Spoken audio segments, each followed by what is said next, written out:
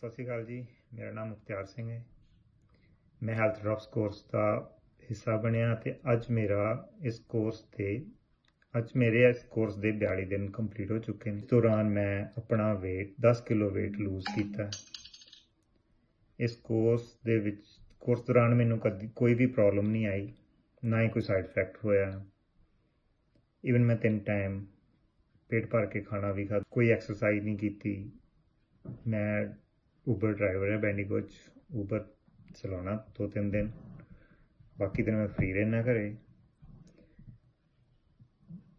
ਮੈਨੂੰ ਕੋਈ ਖਾਣ ਪੀਣ ਵਿੱਚ ਜਾਂ ਕੋਈ ਕਿਸੇ ਤਰ੍ਹਾਂ ਦੀ ਕੋਈ ਪ੍ਰੋਬਲਮ ਨਹੀਂ ਆਈ।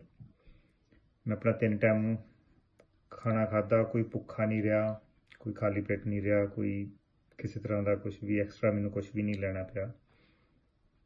ਪਾਣੀ ਪੀਤਾ 3 ਤੋਂ 4 ਲੀਟਰ। ਤੇ ਮੈਂ ਆਪਣਾ weight ਲੂਜ਼ ਕਰ ਲਿਆ। ਥੈਂਕ ਯੂ ਹੈਲਥ ਟੀਮ ਦਾ, ਜਿਨ੍ਹਾਂ ਨੇ ਮੈਨੂੰ ਡੇਲੀ ਫੋਨ ਕਰਕੇ ਮੈਨੂੰ ਮੇਰੀ ਡੇਲੀ ਦੀ ਐਕਟੀਵਿਟੀਜ਼ ਬਾਰੇ ਪੁੱਛਿਆ ਤੇ ਮੈਨੂੰ ਇਨਕਰੇਜ ਕੀਤਾ।